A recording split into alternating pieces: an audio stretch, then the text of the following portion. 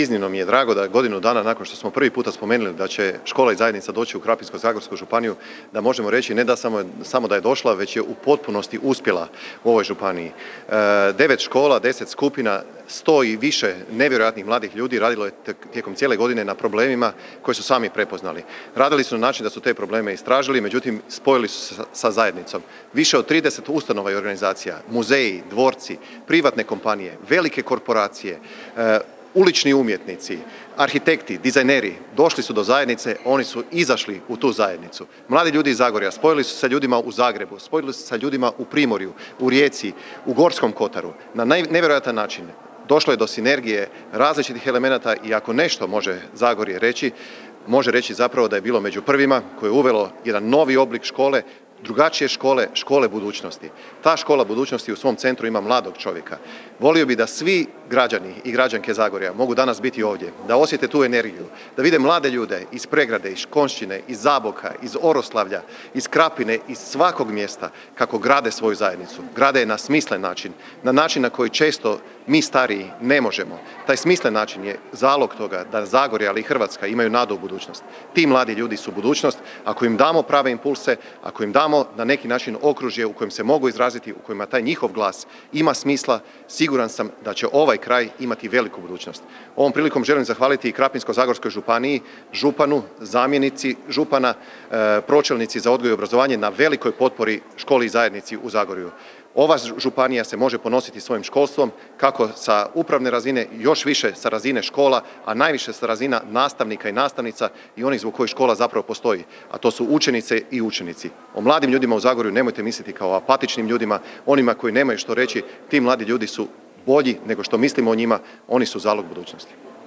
Meni osobno najdraži projekat u deset godina. To dovoljno govori koliko vjerujem u mlade ljude i koliko vjerujem u takav drugačiji pristup školstvu. I čitavo vrijeme govorimo da sva infrastruktura koju napravimo je potrebna, ali zadržati mlade ljude, ali ne samo zadržati mlade ljude, nego zadržati mlade aktivne ljude koji razmišljaju o svojoj zajednici, koji žele dati doprinos razvoju svoje zajednice, ne postoji mjerilo kojim to možete izmjeriti, ne postoji vrijednost u kojoj možete to izraziti. Zbog toga hvala e, Borisu i njegovoj ekipi, ravnateljicama i ravnatelja svih naših srednjih škola koji su se uključili, nastavnicima koji su radili u desetak skupina, najviše ovim mladim ljudima koji su nam pokazali da na njih možemo računati, da je vrijedno ih saslušati i ne samo da je vrijedno ih saslušati, nego treba napraviti apsolutno sve da na ono što su nas oni na neki način upozorili i usmjerili, da to mi i realiziramo.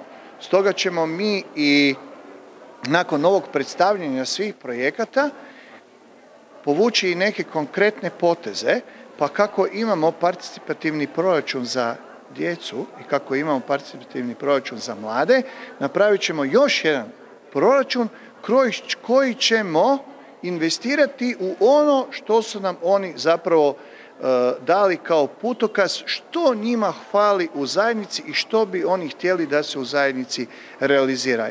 Znači od ove školske godine 2022-2023 u sve naše srednje škole uveden je fakultativni predmet škola i zajednica popularnije ŠIZ. E, znači to je jedan inovativni program koji su e, osmislili Institut za društvena istraživanja u Zagrebu, zatim Prva riječka Hrvatska gimnazija i Centar za studije mira i konflikata u Rijeci. Taj program je utemeljen na e, istraživanju, odnosno istraživačkom poučavanju, e, analizom e, određenih uzroka i posljedica i naravno djeca sama biraju teme i dolaze na kraju do određenih rješenja.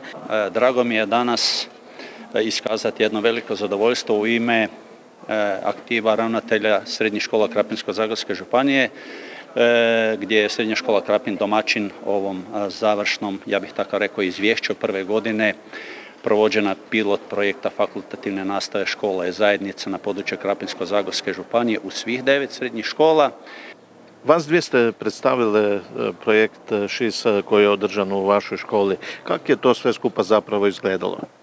Pa znači na početku e, školske godine smo se učlanili u projekt, saznali smo za njega na kraju prošle školske godine i onda smo kroz ta četiri ciklusa koje imamo e, odradili istraživanje, informirali se o drugim školama i onda na kraju e, zapravo išli na gradu sastanak i napravili neke povodom toga kaj smo sve naučili.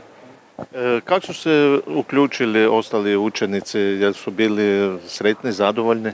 Pa svi zajedno smo promatrali koji, koji problem bi zapravo mogao biti naš glavni problem. Onda svi zajedno smo radili neke prezentacije, smišljali pitanja, pisali dopise i tako slične stvari. Svi smo mi tu bili negdje uključeni, ali na kraju krajeva i zašto da nas dvije prezentiramo cijeli projekt.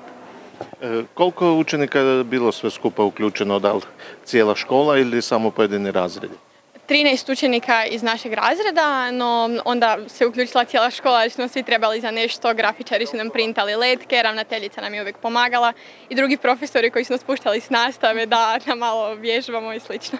Je li to bilo imalo određenu satnicu svaki tjedan, jedan sat ili kako je to izgledalo?